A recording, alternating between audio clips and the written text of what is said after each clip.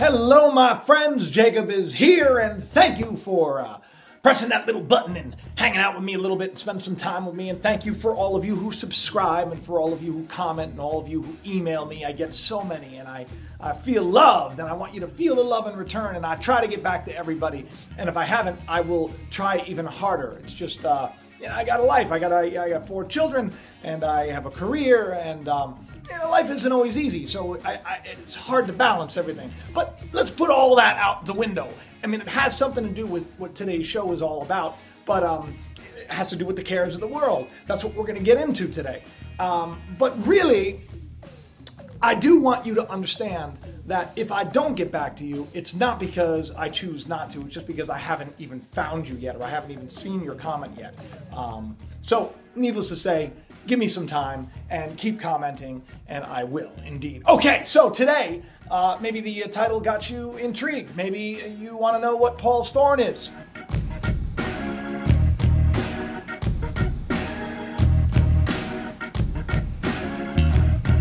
I, for years, had uh, I'd heard many, many things about what Paul's thorn is. Today, you are going to find out, and you will know without a shadow of a doubt that that is exactly what it is. And I'm not talking eyesight, or I'm not talking a bad leg, or I'm not talking some crazy girl that he was dating. I'm talking about Paul's thorn, the revelation of what it is, and how it relates to all of us, because this thorn is also our thorn. There's a reason that you hear the word thorn all over the scriptures. And listen, if you are not um, a Christian or you're not into um, the scriptures at all, it, really doesn't matter because this is not about whether you are religious or not. This is just about one of those stories that we've all heard. We've all heard about Paul's thorn. And, um, well, what was it? You know, what was it? And why did he pray so many times to get rid of it? And why did God allow it to stay there? That is a question that many of us have when we're going through suffering. Why am I suffering? Why am I going through this? Man, why won't all of this nonsense just end, right? I've been there. I'm there a lot.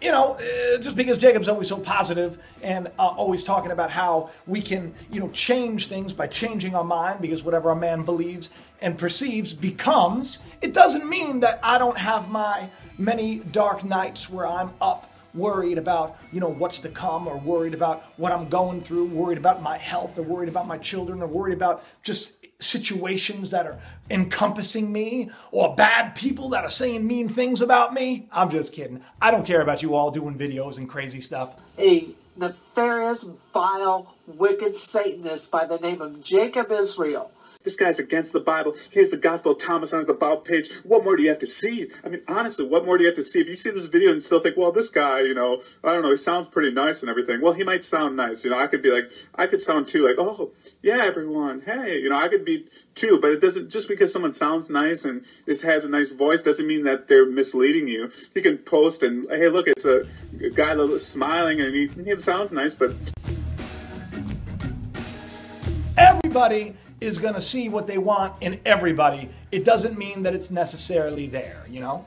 Um, you're going to get what you judge. So that's why we're told, judge not, lest ye shall be judged, right? Um, if you think the worst in somebody, you're going to get the worst in somebody. And I have been, you know, I've had a habit of doing that myself, sadly. But today, it's um, it's more than just this little thorn, this thing that Paul was praying about. It's, it's more than finding out really what that is. It's about finding out how these adversities and these sufferings and these trials that come in our life are actually there to motivate us and are actually there to make our lives better. So it doesn't matter what you believe. It doesn't matter. I'm not here to tell you you need to see things my way. If you think that, you came to the wrong place. And anybody who tells me that I have to believe a certain way or I need to say things a certain way. I get that all the time. You're not saying this enough and you're not saying that enough. And you say this too much and you say that too much.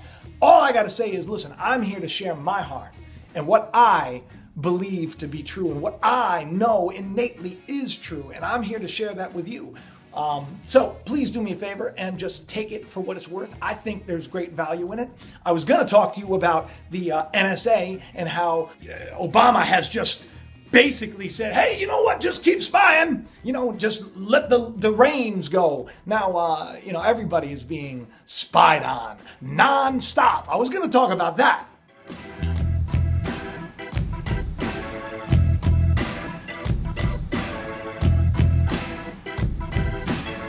Even going to talk about, you know, possibly some more Mandela effects. I had a, a, great friend named Charlie who sent me this video of Rand Paul talking about how um, the government spent almost a million dollars trying to figure out whether or not um, Neil Armstrong said, you know, one giant step for mankind, you know, that whole speech. Well, uh, turns out the, the government was working really, really hard to find out whether or not he said amen one small step for a man, or whether he said one small step for man, one giant leap for mankind.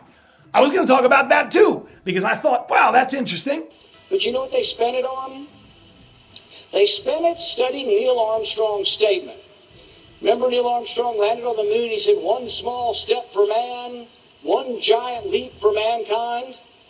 Well, your government, in their infinite wisdom, wanted to know did he say one small step for man or one small step for a man? Your government spent $700,000 studying the preposition a. Did he say a man or just man? $700,000. But today, in the midst of a, uh, you know, just a whirlwind of, uh, you know, adversity and things that come our way, I thought that I should talk about Paul Thorn. So buckle up, people, because it's about to be revealed.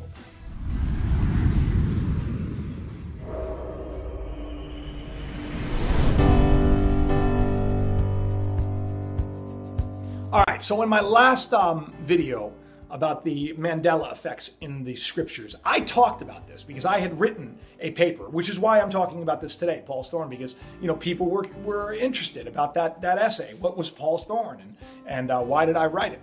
So in that essay, I had talked about a, uh, a passage that was in scripture that I had you know referenced in this article that was critical to the article that now just pff, it's no longer there.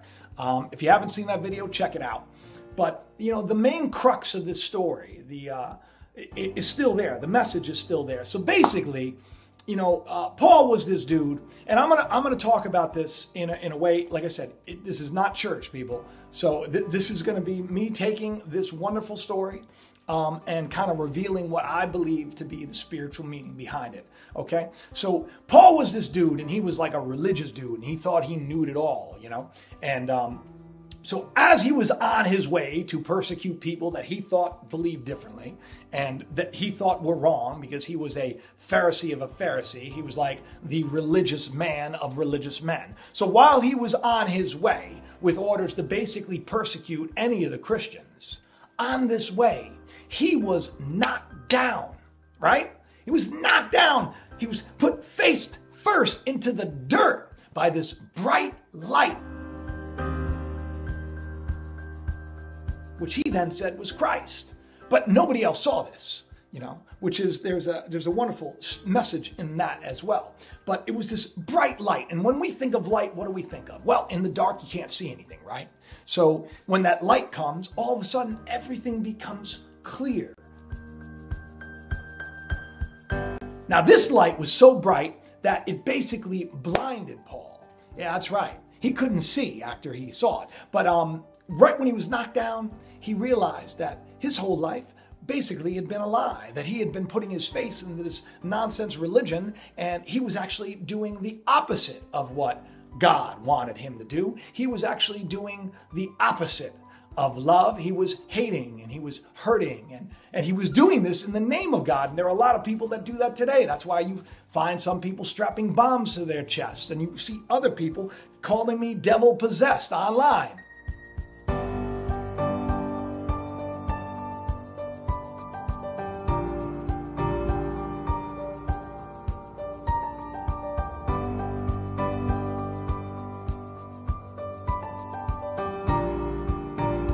You know, people are motivated by what they're motivated by. And whether that is love and that is peace and that is hope and that is truth, or whether that is lies and that is fear and that is hate, it's all about what spirit you are receiving and you know sending out into the world. Well paul was sending out the wrong spirit you know. But he had a desire to know the truth and that's why it came and it smacked him upside his head.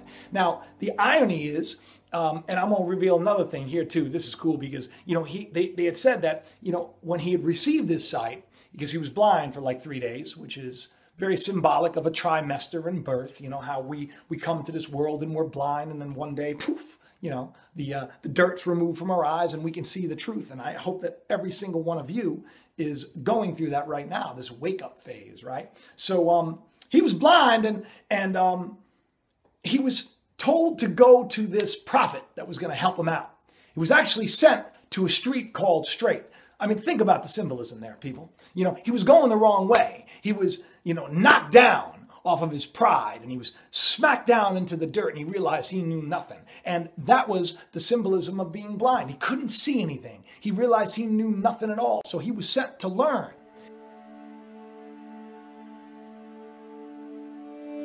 And he was guided and, and, led like a child, which is what a lot of people need to be led by today. You know, you can't just tell people, I can't come here and tell you that there is more right away and throw a bunch of nonsense stuff at you or a bunch of revelation at you without you being ready to go. You know, I can't give you meat if you're only ready for milk. So, in other words, Paul wasn't ready at this point to understand the truth, the mystery of this you know, wonderful kingdom that's in us all. The truth that we are more than we know. The truth that no matter what happens in life, it's going to be all right.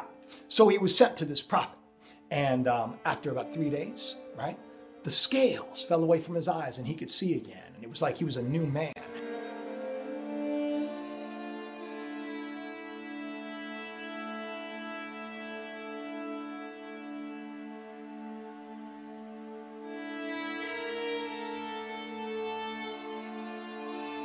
Now, those scales, in another book, um, there is a passage that says the scales of the Leviathan are his pride, symbolic of the pride that Paul had, the pride of all these religious people, thinking they know it all, right? Thinking their way is the only way, thinking their God is the only God, and you have to believe or else.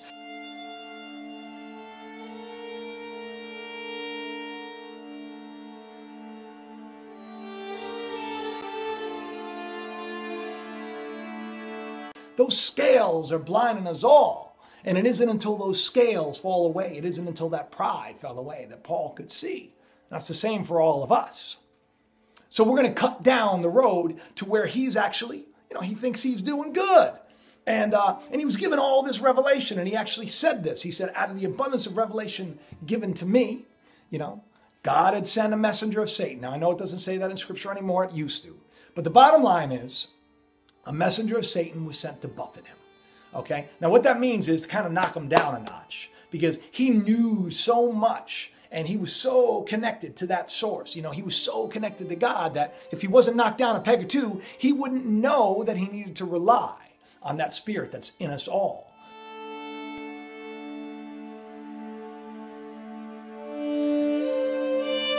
So, what is this thorn, right? He was given this thorn in the side and he prayed three times. The King James, it's thrice. I like that word, thrice. Um, but God said, My grace is sufficient.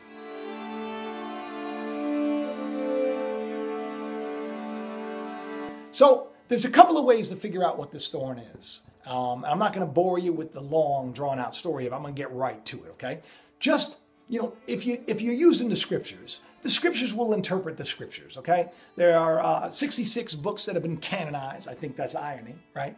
Uh, the number of man is six. The double-minded man would be six six, and here you have the uh, double-minded man right there in the 66, you know, books of the uh, scriptures, the Bible, if you will. But the bottom line is. I love the, the scriptures. I've, uh, I also love many other holy books. And um, I've written on many of them. Go to my website. If you don't believe me, you can check it out and you can, I don't know, you know, do what you want with it. It's up to you. I don't really care. You know, I'm just here sharing. Uh, well, the bottom line is, so he had this, he had this thorn, right? So there are passages that say that, you know, precept upon precept, line upon line, that, you know, that um, these things will be revealed to you. And you can't just go and you can't just look at it and say, I know what it is. Well, he had bad eyesight, right? Because he was blind and his eyes, he had cataracts. That's what some people do. And some people say, right? They write books about it. Other people say, oh, well, he had a limp. And other people say, well, it was his uh, wife, and it was his ex-wife, and it was this, and it was that, and it was the it was the uh, the Pharisees, and everybody's pointing to all these things that they say the, the, the thorn was. But the scriptures say what the thorn is. There's this Jesus was given a crown of thorns. Why was it a crown of thorns? Think about that for a second. When Adam was cast out of the garden, uh, God said, no matter how hard you toil, right, you're going to be toiling with the earth and you're going to be trying to make it fruitful and you're going to be sweating. And you know what it's going to produce? A bunch of thorns.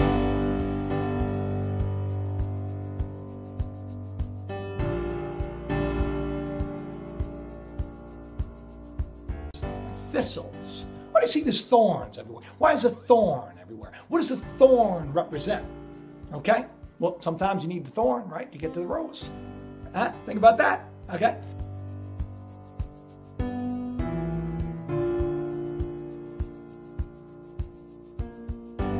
There's a great, a great passage where Jesus is talking about, you know, the kingdom of God, and um, there's a, there's a great um, passage where he says, he, he's talking about the word of God, and he, he uh, says that it's the seed. You know, that a, um, a husbandman goes out into the field and he sows seed, okay? And some of it falls among good earth, some of it falls among a stony place, some of it falls among thorns, okay?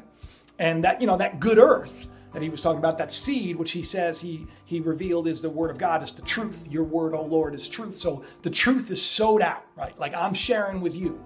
Now, some of you are uh, good earth. You know, some of you are going to take this and you're going to learn from it. You know, the, the moral of the story and finding out what Paul's thorn is doesn't really matter. What matters is how you can then apply it to your life and become more fruitful and multiply that truth and make it a beautiful world that we all want to live and see and, uh, be in.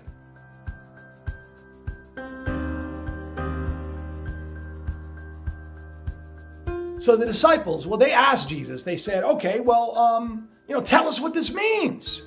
You know, you, are telling us these stories, but what, what does it mean? Well, he says, the seed is the word of God, and the good earth are those that receive it, and, um, and it produces something wonderful in them. Some of it falls among thorns. Now, here is the kicker. He says, thorns are, and a lot of you know this already, the cares of this world and the deceitfulness of riches.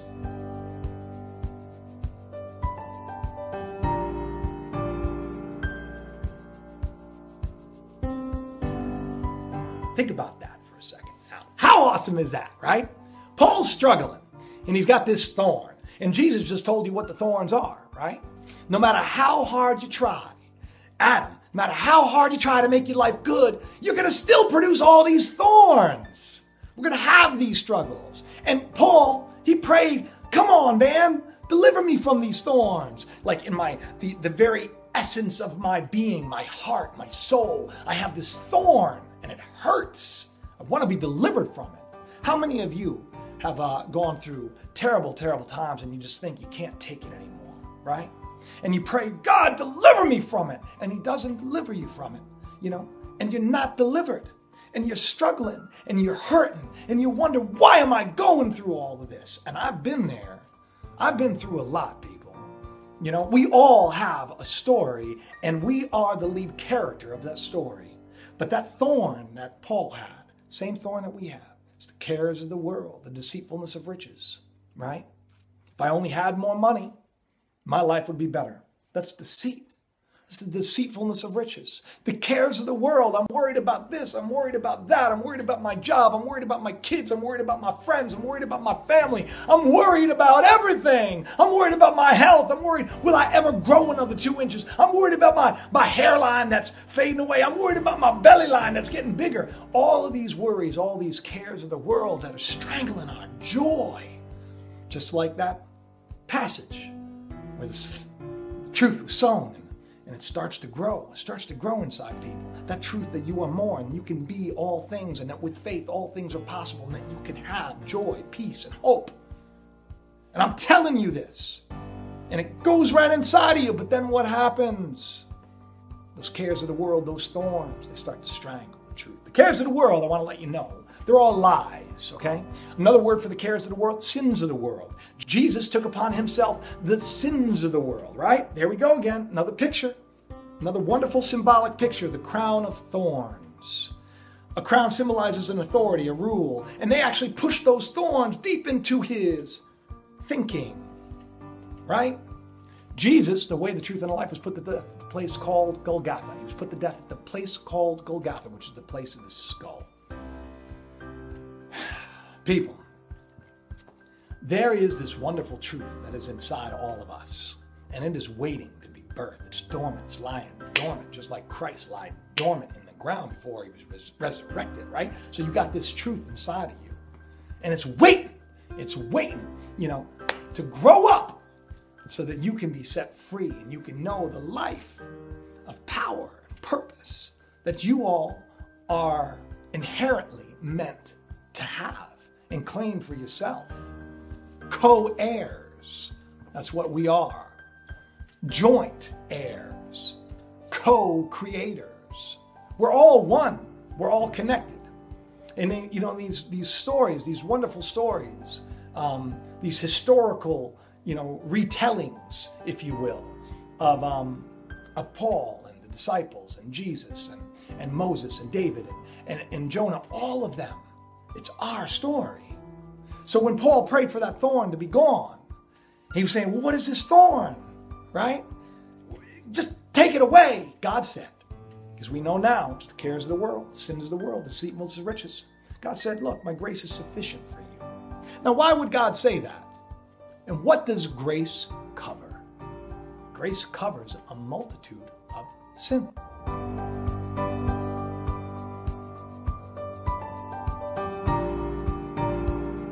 Multitude of cares of the world and lies and deceit.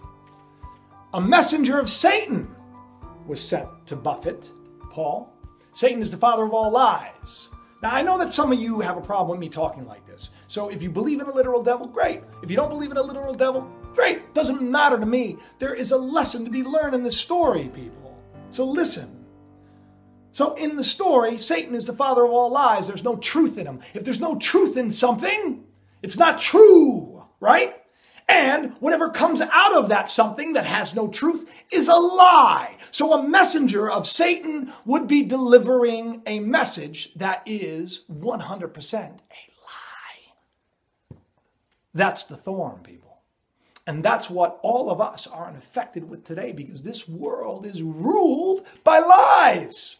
I love it when I get comments from people and they talk about the, uh, the ruler of the air, the prince of the air, and that is the devil, right? And they say the air waves. And I love that because how true is it?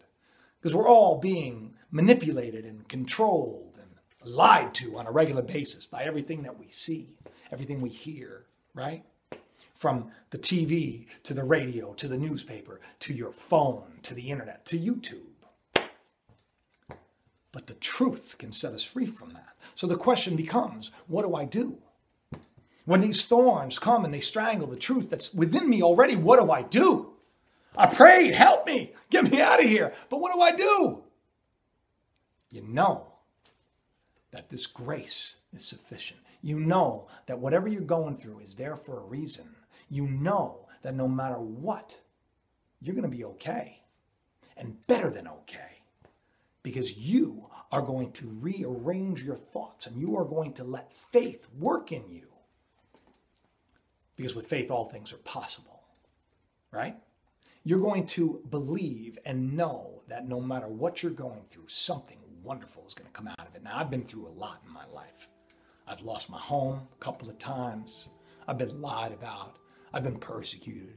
I've been, oh, I've been sick many times. I've been left alone. I've been abandoned. I really would love to share some of the things that I've gone through with you, you know. And uh, my life is not free from uh, from tribulation, if you will. It's not free from hard times. And I'm going through a hard time right now, but thankfully, the things that are important to me, like my family and my wife and my life and my and my faith and my my love for each and every one of you and my love for what I do, that's strong.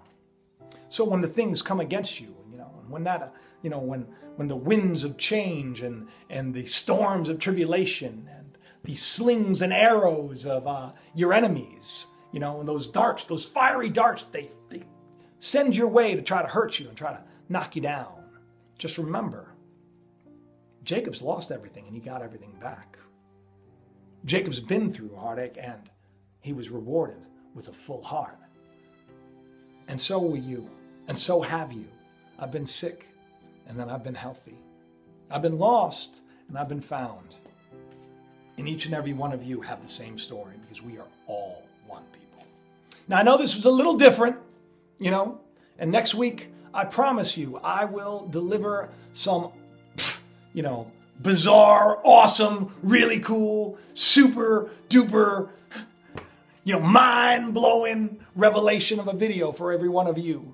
You know, and I will reveal the truth, sure. But this week, for whatever reason, no matter how hard I looked, no matter how hard I tried to find something that was worthy of all of you, this is what I found.